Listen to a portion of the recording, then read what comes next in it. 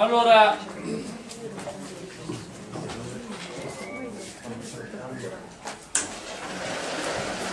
descriviamo velocemente alcune delle condizioni, alcuni dei modi per caratterizzare un campo rotazionale. Quindi è molto importante, lo chiederò agli orari. Eh?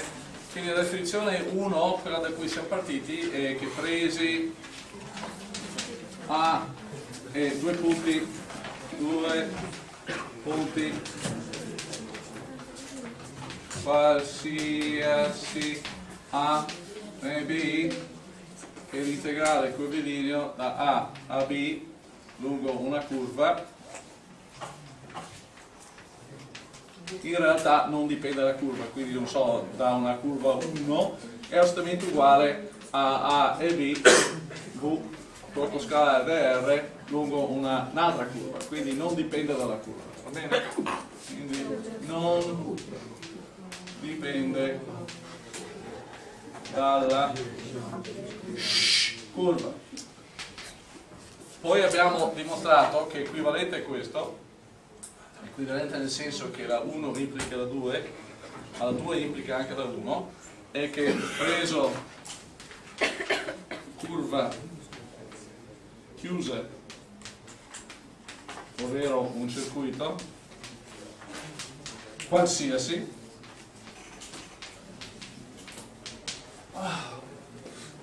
preso curva circuito qualsiasi che l'integrale curvilineo lungo la curva chiusa che si indica così quindi non ha gli estremi ma ha un cerchietto però dovete specificare la curva.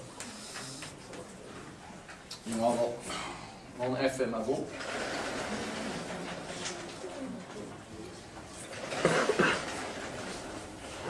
facendo un discorso generale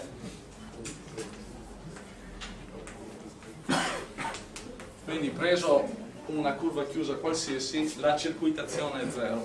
Quindi circuitazione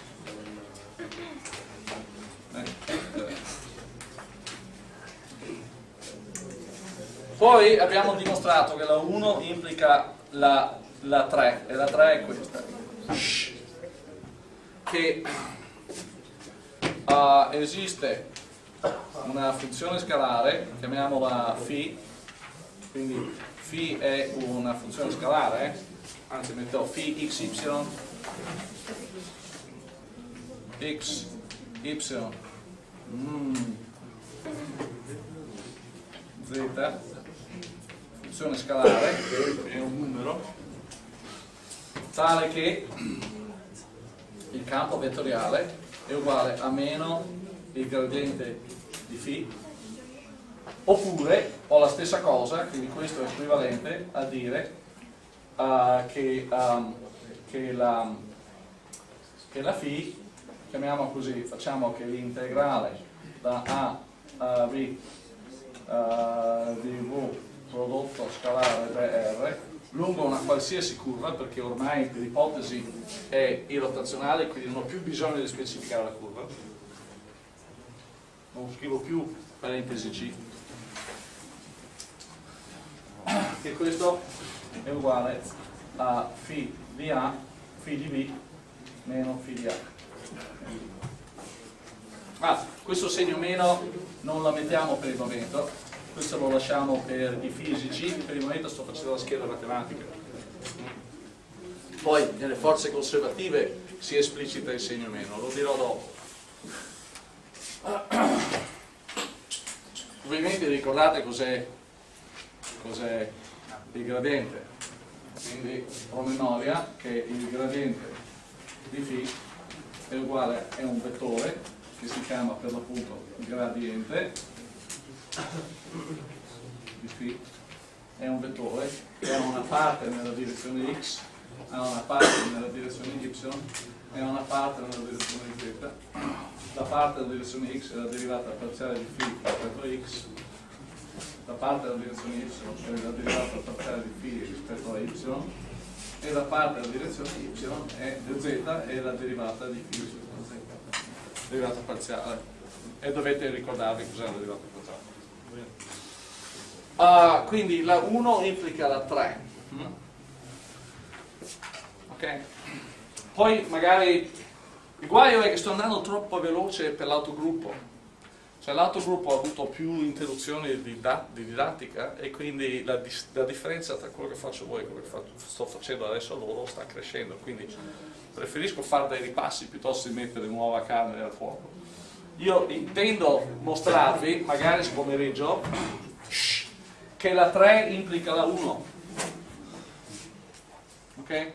Che avere una funzione φ tale che sia legata a V in questo modo implica che la V è irrotazionale nel senso della 1.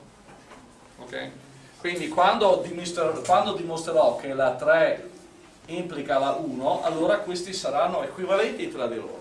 Una qualsiasi può essere presa come la definizione se volete. Se volete. C'è un altro che voglio introdurre già adesso, perché lo, lo introduco in maniera abbastanza nozionistica, però eh, lo useremo pesantemente nel corso. E nasce un po' da questo problema qua. Immaginate di avere eh, questi due campi vettoriali, li abbiamo disegnati ieri, l'ho dato ieri. Cosa avete fatto ieri? Avete studiato?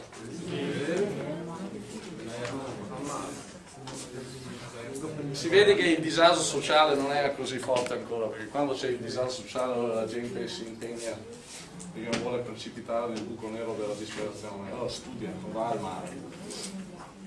Secondo me. Avete disegnato il campo vettoriale. Avete disegnato il campo vettoriale. E uno si chiede, come faccio a sapere se un campo vettoriale, che qualcuno mi dà così, è conservativo o no, o è rotazionale o no? Cosa, come faccio? Devo, devo, disegnare le frecce e cominciare a grattare la testa e immaginare di fare tanti percorsi, scegliere un percorso arbitrario? Mm? Per esempio, di nuovo, com'era il disegno di questo? Um, rapidamente perché credo che sia comunque una buona occasione per ricordare quelle cose. Questo diceva che il vettore era nella direzione x, quindi sono tante frecce che vanno uh, nella direzione x o anti-x e vanno di là in proporzione al valore x. Quindi quando, quando, x è 0 non ho alcuna forza, hm? tutti questi punti non hanno nessuna freccia. Quando mi trovo su questi punti qua avrò delle frecce che sono così, quando mi trovo a distanza doppia avrò delle frecce che sono doppie e qua analogamente avete delle frecce così e delle frecce così. Provate a immaginare andare da un punto A a un punto B e chiedervi se, se uh, il percorso che voi scegliete per andare da A a B, se voi andate così, sarà uguale che andare, che so, lungo una curva di forma strana. Secondo voi? Andare in questo modo oppure andare così verrà, fu verrà fuori lo stesso valore? Sì, sì che verrà fuori lo stesso. Non fatevi ingannare dal fatto che le frecce qua hanno modo diversi. Pensateci un attimo, ve lascio a voi convincere. E se le frecce fossero così? Com'era la situazione? Qua avevo le frecce 0 su questi punti, ma a questo punto aveva una freccia così, questo punto che era, aveva un y doppia aveva una freccia doppia, questo che è y terza era così, questo punto era così, questo punto era così, questo punto era così, e come anche questo punto, no? Dovete immaginare, la... e in questo caso, forse il modo migliore per pensare avendo un disegno di frecce, se è conservativo, se è rotazionale o no, è pensare ai, ai percorsi chiusi, no? la seconda definizione, che è conservativo se la circuitazione è sempre zero. Allora, perché è più semplice? Perché guardate, immaginate una curva chiusa, basta trovarne una chiusa dove non è zero, che non è un campo rotazionale, no? Perché la definizione dice, la seconda definizione dice qualsiasi curva chiusa deve essere zero la circuitazione. Quindi basta che ne trovate uno che non lo sia. Certo che se ne trovate uno che è zero non basta perché deve essere qualsiasi. Ma basta trovarne uno che non lo sia, che è certo che non è irrotazionale. Pensate a questa curva qua, che parte da questo punto, va fino a qui, poi va qua, poi va qua e poi va qua. Quindi va dal punto A B, C, D, in questo modo. Guardate, spostandomi da A a B con spostamenti dr in questa direzione, in questa direzione, ho un prodotto scalare tra la forza, perché la forza, eh, la, la forze sono queste verdi, ok? La, forza, la freccia verde e la freccia bianca sono paralleli, quindi il prodotto scalare è positivo. Quando arrivo a B ho accumulato un numero positivo. Quando vado da B a C, i vettori di spostamento sono così, ma la freccia e forze sono così, quindi sono 90 gradi, quindi andando da B a C ho 0. Non, non, non, non c'è un contributo nuovo nella mia sommatoria, tutti gli spostamenti da B a C mi danno prodotti scalari nulli. Quando vado da C, quando vado da, in questa direzione, le frecce verdi sono, sono, in che direzione? Sono per di qua, no? Perché ho la y negativa. Quando l'y è positiva la freccia, la freccia verde va a destra, quando l'y è negativa la freccia va a sinistra. Quindi vedete che quando io vado da C a D, di nuovo ho il parallelismo tra lo spostamento e, e la freccia verde, la freccia del campo. Quindi da C, a, da, D, da C a D ho di nuovo prodotti scalari positivi. Quindi positivo andando di qua, 0 andando di qua, positivo di qua, 0 di qua. Risultato netto, positivo. Non è irrotazionale. Invece questo, pensateci, qua andate in questa direzione, siccome le frecce sono, da, da, andando da qua a qua, le frecce sono verso sinistra, quindi ho un valore negativo, ma quando vado al di là di qua, perché questo dipende da x, quando ho x positivo, le frecce sono nella direzione dello spostamento, e quindi il valore negativo che avevo di qua viene perfettamente compensato dallo spostamento di qua. Qua in, in questo spostamento non ho nessun contributo, qua succede qualcosa simmetrico qua, quindi qua l'integrale lungo un percorso chiuso è 0, qualsiasi curva chiusa, convincetevi, convincetevi che qualsiasi curva dura, dura respiro profondo, che qualsiasi curva chiusa vi darà sempre 0 convincetevi che basta una curva, quella rossa, che non sarà zero. Quindi questo non è rotazionale. Ok? Non è irrotazionale. Questo è un approccio, ma potete immaginare che, eh, supponete che il campo vettoriale abbia le frecce disposte in maniera strana. Non so, abbia una, in questo punto la freccia è così, in questo punto è così, in questo punto è così, in questo punto è così. Avete una ricetta che vi dà le frecce e voi ne disegnate alcune, guardate le frecce e dite boh! Come faccio a sapere che questo è un campo rotazionale? Guardando solo qualche freccia, non è certamente quella la strada. C'è un, uno strumento molto potente che useremo nel corso che si chiama il rotore ed è questo oggetto qua. A me piace usarlo perché è uno strumento potentissimo, ma è anche un, nuovo un ripasso di tante cose.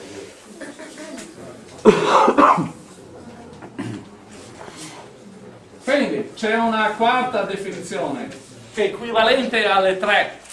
Un altro modo per dire che un campo, è un campo vettoriale irrotazionale.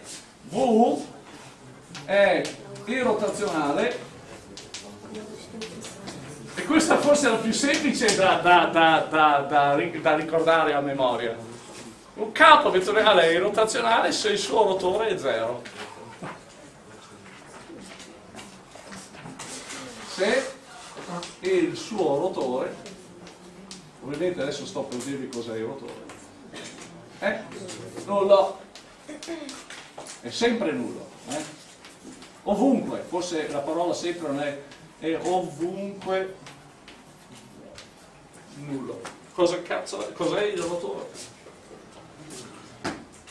Il rotore si scrive così, c'è l'operatore nabla. Cos'è nabla? Nabla, che è chiamato anche tra amici l'operatore gradiente. Nabla cos'è? È un operatore vettoriale, è un operatore differenziale, cioè un operatore di derivate, ma nel senso vettoriale del termine. Nella direzione x ho l'operatore derivata parziale rispetto a x.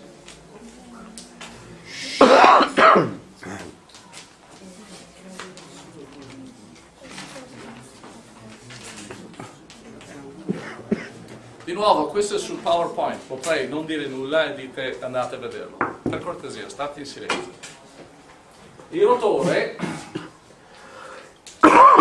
è un, questo oggetto qua.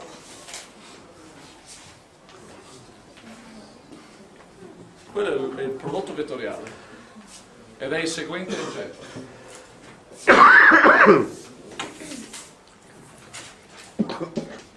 Eh, si sta strozzando? Qualcuno sa la mossa di Heimlich? Dove si da dietro si... così poi fate nelle scuole superiori eh, pronto soccorso? Secondo me dovrebbe essere obbligatorio. Cioè potete salvare la vita di una persona.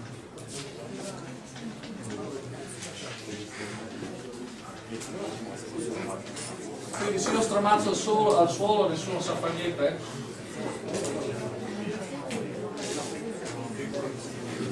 Questo è il rotore. In coordinate cartesiane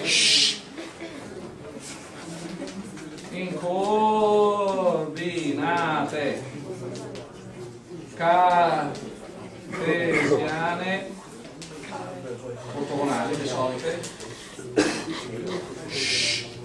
questo è il rotore è un, è un, oggetto che adesso espanderemo, però lo espanderemo proprio con eh, le regolette che già da un po' di tempo abbiamo visto col prodotto vettore.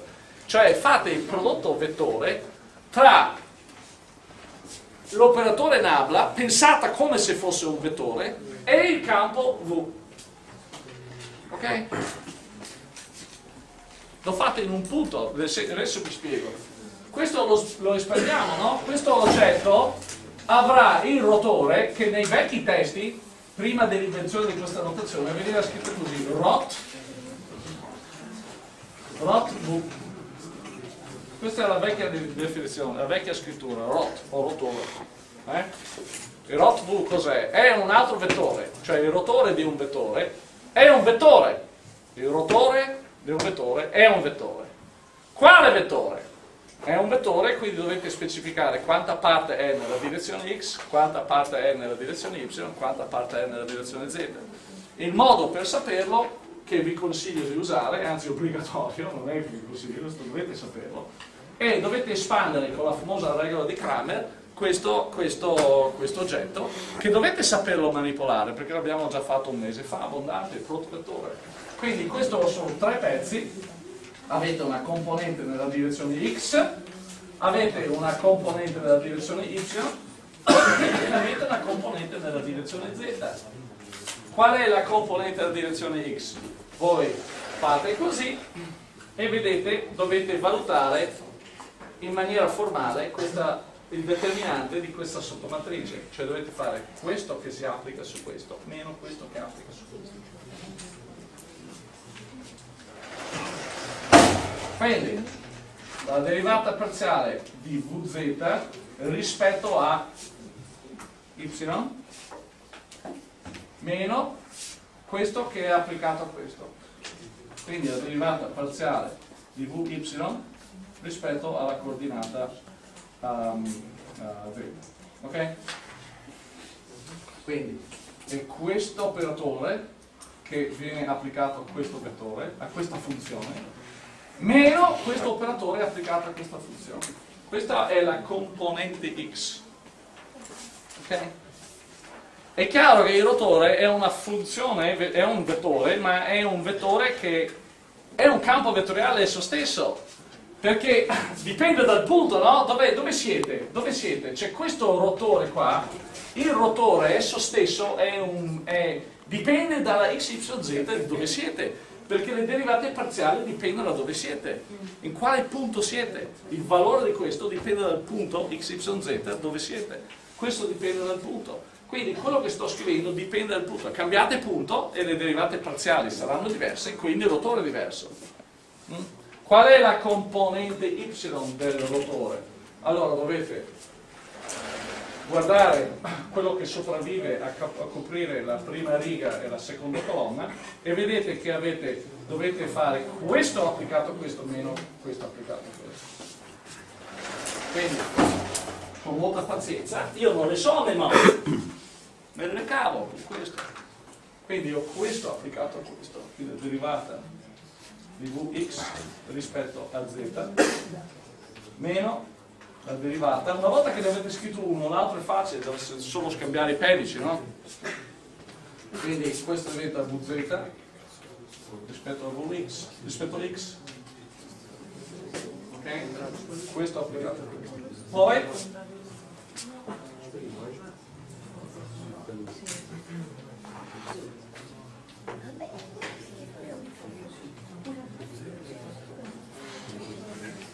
Poi quando avete finito di scrivere non dovete subito, mi dica, c'è un errore di stampa? Sì, o di Y.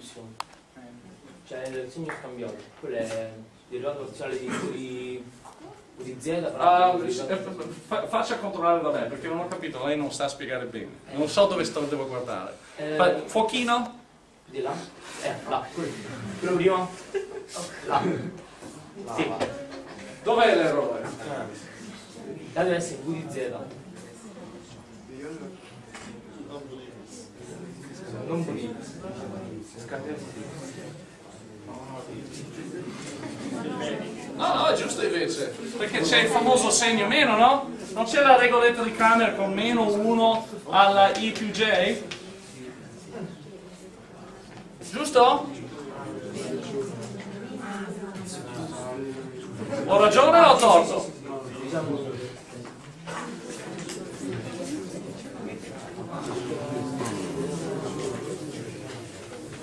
Però grazie.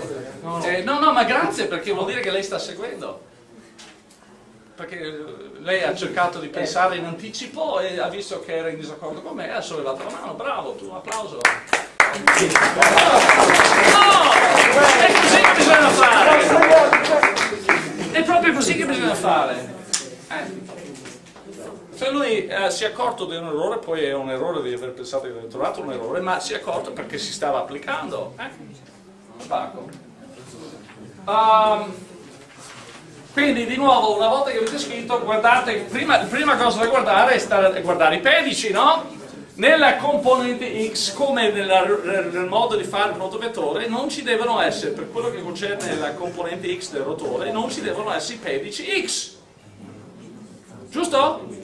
Ho, ho sbagliato se vedo qua sotto una x da qualche parte.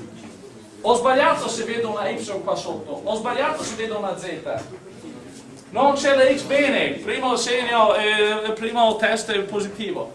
Poi de- non devo vedere eh, la, vedete che se c'è la z sopra, la y deve essere sotto. Poi però devo averlo scambiato con la y e la z con un segno relativo tra loro tra loro, ma chi è il positivo? È là che uno deve guardare e pensare alla regola di Kramer, eccetera. Mi pare che sia giusto, va bene? Ok? Allora, applichiamolo a questi due campi, coraggio. Verifichiamo che il rotore di questo è zero. Allora, io cosa devo fare? Quindi rot di questo, di questo signore qui, track.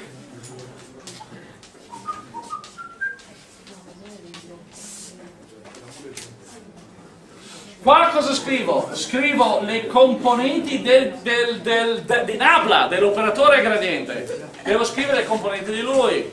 Quindi uso una notazione semplice così eh, risparmio un po' di gesso. Eh? Questa notazione qua cos'è? Oh? Dai, cresciamo un po', usiamo la notazione in maniera un po' sportiva. Chiaro che uno potrebbe chiedere, ma cos'è questa roba? Eh, È questo. E perché lo usa? Perché sono pigro. Questa è la derivata ufficiale rispetto a x. Questi, questi qua sono le componenti dell'operatore Nabla. Poi scrivo le componenti di V. Quali sono le componenti di V? Guardatela.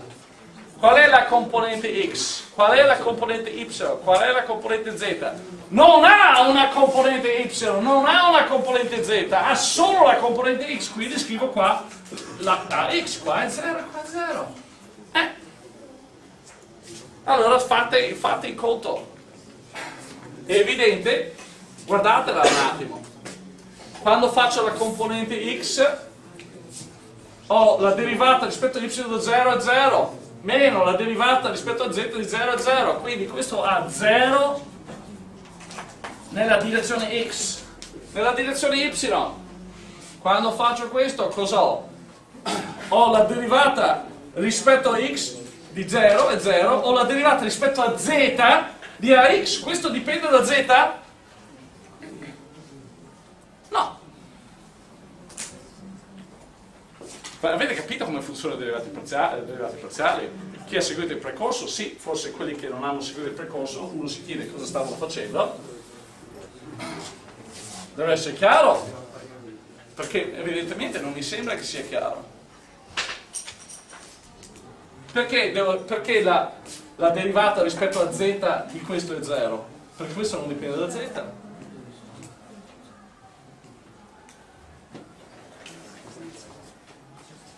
E la derivata rispetto a, a, a la componente z, u, u, di x cos'è? u di z? La derivata rispetto a x di 0 è 0 e la derivata rispetto a y di ax, questo non dipende da y, quindi è 0. Quindi il rotore di questo campo vettoriale è il vettore nullo. Attenzione, questo è il vettore nullo, è una freccia. Non è nullo, non è un numero, è il vettore nullo.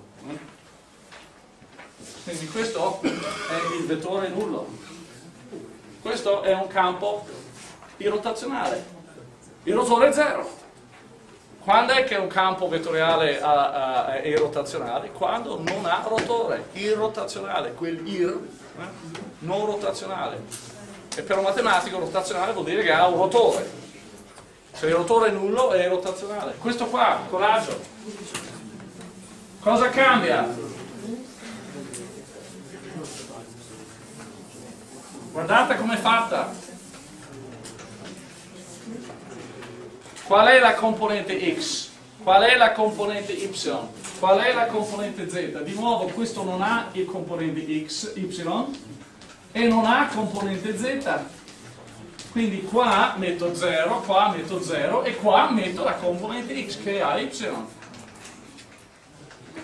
Ok? E quindi, di nuovo, qual è la componente x del rotore? O questo che si applica su questo, derivata parziale rispetto alla y di 0 è 0, la derivata rispetto a z di 0 è 0, quindi questo ovviamente è 0 nella direzione x. Nella direzione y come siamo? Ho la derivata rispetto a x di 0 è 0 e la derivata rispetto a z di ay, che non dipende da z, è 0. Cosa succede nella direzione Z?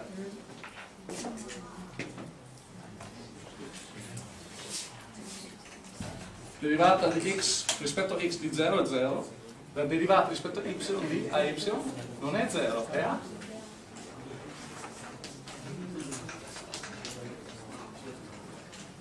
Il rotore è diverso dal vettore nullo.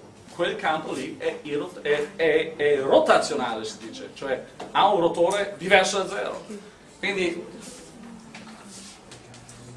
il rotazionale vuol dire che ha il rotore nullo. Invece quando il rotore è diverso dal vettore nullo, ovviamente dire che è rotazionale è molto pericoloso perché il irrotazionale o rotazionale, basta quel piccolo ir che uno prendendo appunti magari non lo nota. Quindi hanno inventato una parola nuova, ok? Quindi si dice, certo, si può dire che è rotazionale. È italiano questo, no? Irrotazionale non lo è, rotazionale lo è, ma c'è una parola che si usa proprio per evitare di, di confondere due parole se uno prende appunti a voce. E si dice, molto, la parola strana, però la giustificazione viene dalla fisica, si dice che è solenoidale e la base qua è il solenoide eh? solenoide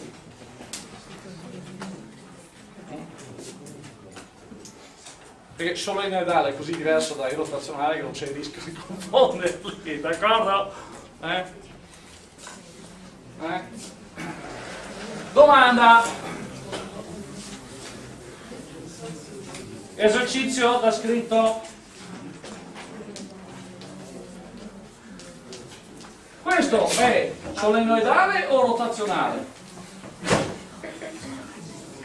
calcolate il rotore, fatelo, mentre io cancello la lavagna, coraggio. Quindi mi raccomando, quando fate una derivata parziale rispetto a una variabile che so x, dovete pensare alle y e alla z come se fossero costanti, no? In una derivata parziale rispetto a x, cosa facevate?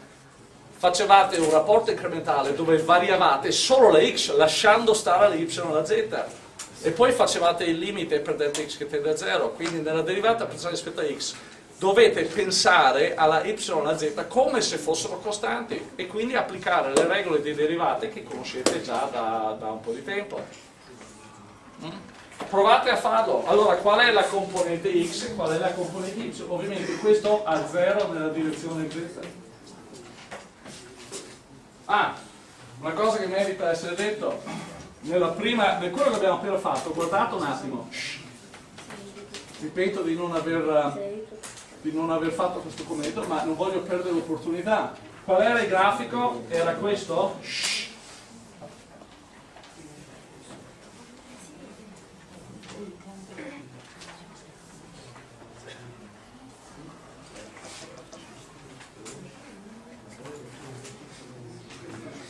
Eccetera eccetera eccetera. Ok? era questo il grafico. Il rotore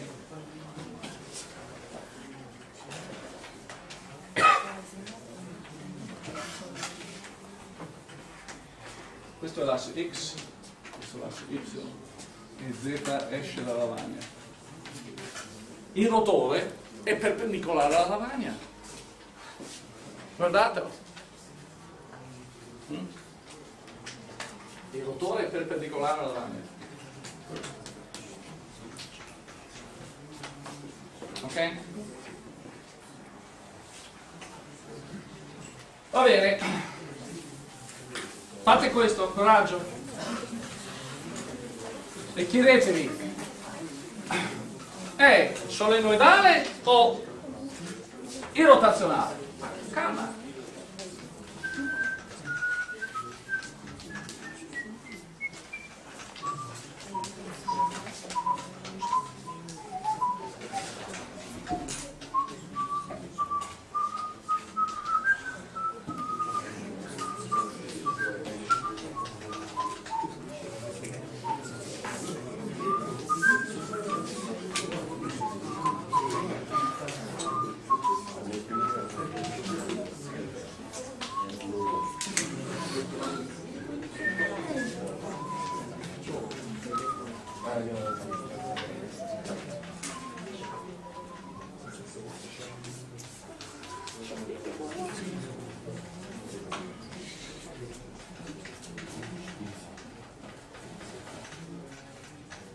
Cos'è questo di nuovo?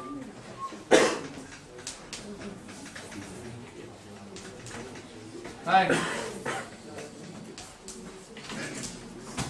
Sto facendo la componente z perché abbiamo, ci siamo convinti che la componente x e y è 0. La componente z, guardatela. Questo applicato a questo, quanto vale? Beh, questo applicato a questo ah forse nella forma questo era qua c'era un segno meno no? giusto? Perché avevo questo su questo meno qui scrivere c'è un segno meno. Quindi la, il rotore il rotore perpendicolare alla lavagna ma entrava nella lavagna. Mm? entrava nella lavagna. E quindi la conclusione è, è solenoidale o irrotazionale? Pensate, contate e pensate, avete un cervello, usatelo. Dipende. Dipende. È irrotazionale se B uguale A. Dipende una delle grandi cose del pensiero scientifico è che dipende. Guadagnate un po' di tempo. Se qualcuno vi chiede una domanda e voi dite dipende. E poi pensate, perché dipende, dipende dalle cose, eh? dipende. Quindi, quando B è uguale ad A, avete che è rotazionale. E quando B è diverso da A, è solenoidale. Che aspetto ha questo grafico qua? Qualcuno riuscirebbe a disegnarlo? Che aspetto ha? Sapreste, questo è un tipico scritto, eh? Sapreste disegnare questo, visto che B deve essere uguale a fate questo. Sapete disegnarlo? Fate qualche disegno, qualche freccia per convincervi.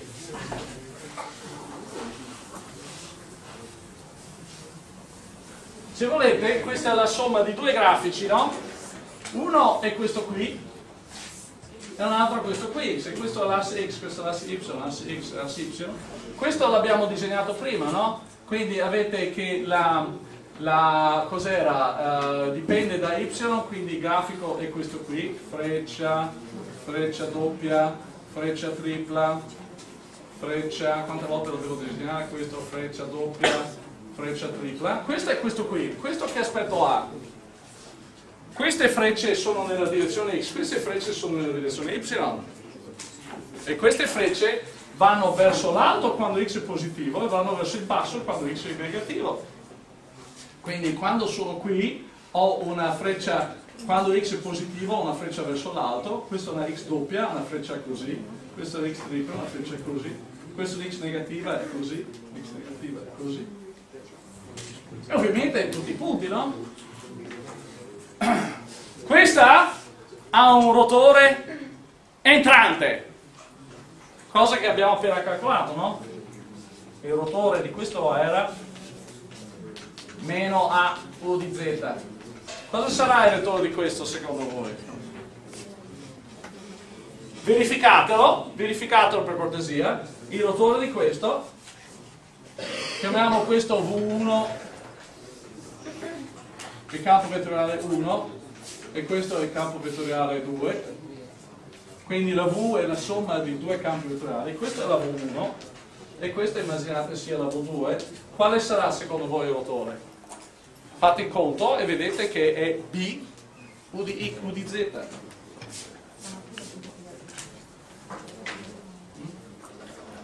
Infatti il rotore di V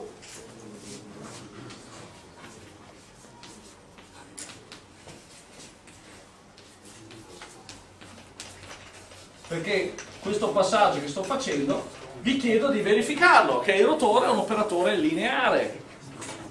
Questo è uguale.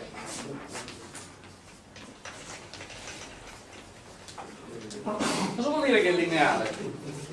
Verificate questo, verifica, verifica, verifica linearità. Verificatelo. Cosa vuol dire? Che questo passaggio è legittimo, verificate che sia possibile. Cioè che il rotore di questo potete veramente scomporlo come la somma dei due rotori. Allora, um, facciamo il caso che A e A siano uguali, ok? Che aspetto avrà il grafico? Quindi nel caso che B è uguale ad A, che aspetto ha questo grafico? Cioè il grafico di, del vettore capo vettoriale A y u di x più a ax u di y cioè che è la stessa cosa che dire a per il campo vettoriale fatto così che aspetto ha? dovete fare la somma di queste frecce quindi in questo punto per esempio in questo punto avete questa freccia in questo punto cos'è?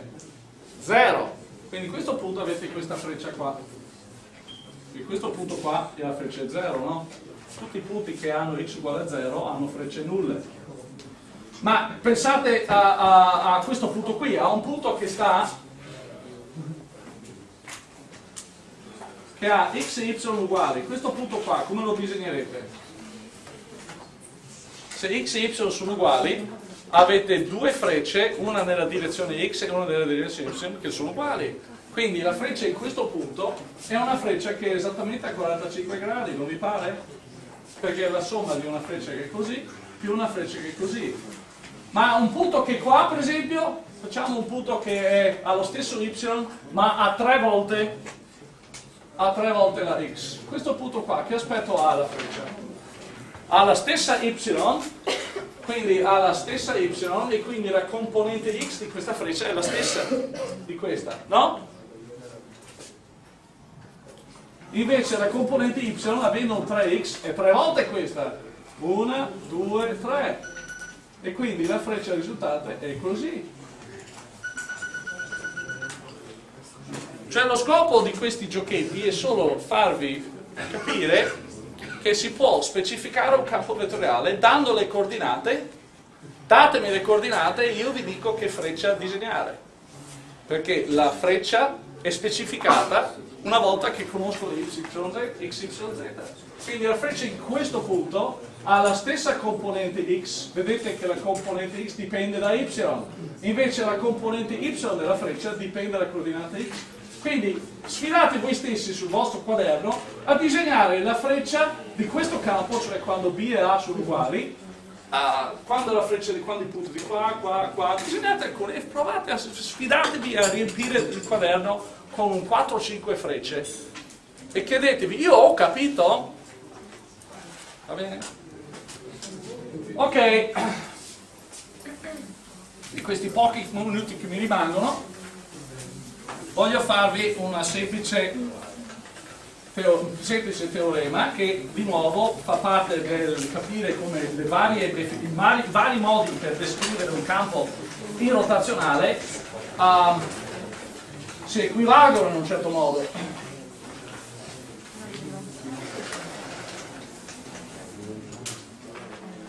Questa è una cosa che chiedo molto spesso per avere un 21 o un 22. Se vi accontentate di un 18 potete addormentarvi. Supponete che avete un campo vettoriale che è il gradiente di un campo scalare. Cioè un campo irrotazionale. Io vi devo convincere che se questo è vero, allora uh, integrare curvilineo da A, B, di V, in DR, non dipende, non dipende, oppure che la circuitazione è zero. Vi devo convincere di questo. Ma adesso voglio convincervi che se il campo è così, il suo rotore se questo ha la pretesa di essere un campo irrotazionale, cioè se vi convinco che questo implica questo, quindi è un campo irrotazionale, quanto vale il rotore di un campo così? Per essere irrotazionale deve essere zero. Quindi io voglio convincervi che questo è vero. Scerniamo, intanto con la volontà.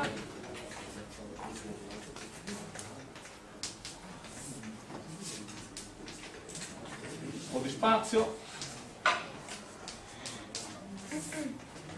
Meglio scrivere per esteso finché la gente non ha capito, poi una volta che ha capito possiamo magari usare una notazione più, più snella, se uso già la notazione snella magari perdo Qua, qual è la componente x, y, z di questo vettore? La componente x è la parte x del gradiente, quindi è la derivata di φ rispetto a x la derivata di φ rispetto a y, la derivata di φ rispetto a z. Sto dicendo sia v il gradiente di una opportuna φ, di un campo scalare. Quindi la componente x è questo qua, componente eccetera, ok? Quindi dobbiamo valutare con molta pazienza. Io vi farò solo il primo, la prima componente, perché i più svegli di voi saranno capacissimi di, fare, di completare il conto da soli, anzi i più svegli non faranno nemmeno il conto perché capiranno che è ovvio che è zero anche per le altre componenti. Quelli che magari sono meno sicuri di sé con la matematica dovranno magari fare passaggi per esteso, ma basta che io vi, vi, spieghi come funziona la prima componente che dovreste vedere come funzionerà con la, con la componente z e la componente x, y. Qual è la componente x? Devo prendere questo e applicarlo a questo. Questo è 30 quadrato. Ho la derivata rispetto a y della derivata di φ rispetto a z. Questo applicato a questo, meno questo applicato a questo.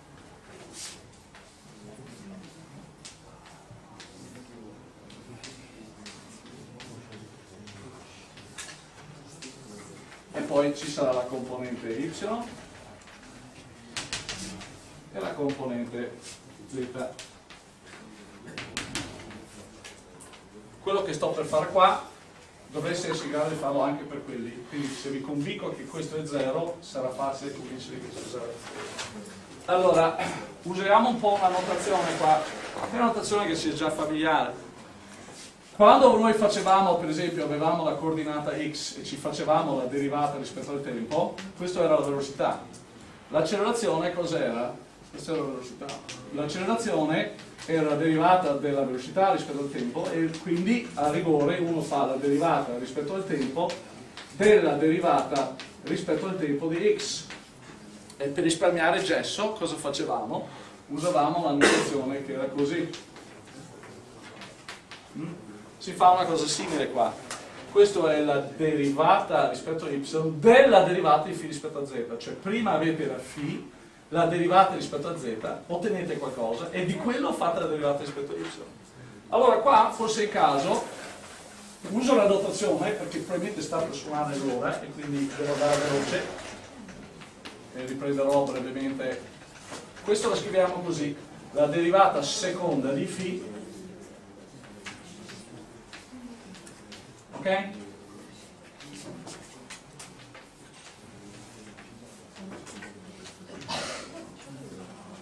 questa è la notazione che uso per risparmiare un po' di gesso. Vedete che preservo, sto leggendo da destra verso sinistra, prima questo poi quello, prima questo poi quello. Va? Uh, guardate questi due, cosa hanno di diverso? Sto derivando due volte la φ, il primo prima rispetto a z poi rispetto a y, e questo è prima rispetto a y poi rispetto a z. Allora, vediamo se a dire in poche parole. Sia questa una funzione di x y e z, che so, a x quadro y alla cubo z. Mm? Quali sono le derivate parziali? Allora, la derivata parziale di f rispetto a x, cosa si fa? Si deriva pensando y e z come costanti, quindi questo è 2a, 2a x y cubo z. Qual è la derivata rispetto a, a y? penso alla x e z come costante, quindi 3ax al quadrato, y al quadrato, z. Qual è la derivata di f rispetto a z? Derivo pensando alla y e alla a e la x come costanti, quindi ho ax quadro, y cubo. Molto facile. Quali sono le derivate seconde? Beh, ho le derivate seconde, posso derivare questa, vedete, è una funzione questa è una funzione e posso derivare essa stessa, quindi posso fare la derivata seconda di f rispetto a x e questo tanto per fare un esercizio, penso la x, penso la y e la z come costanti, quindi ho 2a y al cubo z, ma posso derivare la derivata, questa funzione, posso derivarla anche rispetto a y, quindi faccio prima rispetto a, a x e poi rispetto a y, quindi devo derivare questo rispetto a y, e quindi vedete che qua avrei, aiutatemi a non sbagliarmi, quindi avrei 6axy al quadrato z, siete d'accordo? Ok? Guardate, qua l'ho derivata seconda rispetto a y, potrei derivare un'altra volta rispetto a y perché mi, mi piace farlo, e avrei uguale a, quindi qua avrei 6ax al quadrato y z, e potrei derivare anche rispetto a y e z, che caldo, ho già derivato y. E voglio derivare rispetto a x ok? quindi qua ho, penso quindi uh, rispetto a x quindi penso y questo diventa 6ax y al quadrato z. E se non ho sbagliato e non ho sbagliato guardate qua questa si chiama derivata seconda mista questa è la derivata seconda pura rispetto a x certo che potrei fare anche potrei fare il discorso, ma questa è derivata seconda pura, vedete che sto insistendo a derivare rispetto a x. Questa invece sto derivando prima rispetto a x e poi da y, quindi derivo due volte ma rispetto a variabili diverse, quindi lo chiamo misto in quel senso. Questo è derivato prima rispetto a x e poi a y. Questa è la derivata mista, seconda mista, ma avendo derivata prima rispetto a y e poi rispetto a x. E guardate come sono esattamente la stessa funzione. E c'è un teorema di analisi delle funzioni a più variabili che si chiama il teorema di Schwarz. Credo che si scrive così, non ho controllato prima di venire a lezione stamattina. Schwarz, credo che si scriva così. Datemi due secondi per scrivere questo teorema che eh, controllate perché mi sono dimenticato di guardare, io ho una pessima memoria, di solito controllo prima di lezione. Um, Dice che se la funzione a più variabili non è patologica nel senso di matematici, è derivabile in tutte le, in tutte le direzioni e ci sono altre ipotesi, allora la derivata seconda mista non dipende dall'ordine con cui derivate. Ok? Non dipende dall'ordine. Fate la derivata seconda mista, ma non dipende da quale iniziate, con, con quale iniziate a derivare. Quindi, per il teorema di Schwarz, cosa concludete? Che questo è uguale a 0. Il teorema di Schwarz dice che questo è uguale a 0, come sarà uguale a 0 anche la componente y e anche la componente z, perché sia nella componente y che nella componente z avrete le derivate seconde miste di quali variabili quando fate la componente y? Delle variabili x e z Qua, quando fate la componente z, avrete le variabili x e y, ma avrete entrambi che appaiono, derivata mista così, dove derivate prima rispetto a uno e poi l'altro meno, e, e per i Schwarz sono 0. Quindi abbiamo appena visto una cosa molto interessante, che un campo che è irrotazionale in questo senso è irrotazionale così, quindi questi due modi sono equivalenti tra di loro. Manca ancora il passaggio dove devo convincervi che se questo è vero, allora questo è vero. Eh? Ma vedete, questo è un altro modo per dire com'è un campo ed è estremamente importante. Quindi, in generale, per parlare di campi di forze, un campo conservativo, cioè un campo irrotazionale, è scritta come il gradiente di un opportuno campo scalare quindi ha rotore nullo. Quindi i campi irrotazionali, i campi conservativi, possono essere descritti così o così. È la stessa cosa, sono due modi matematicamente equivalenti della stessa cosa. Ci vediamo alle due.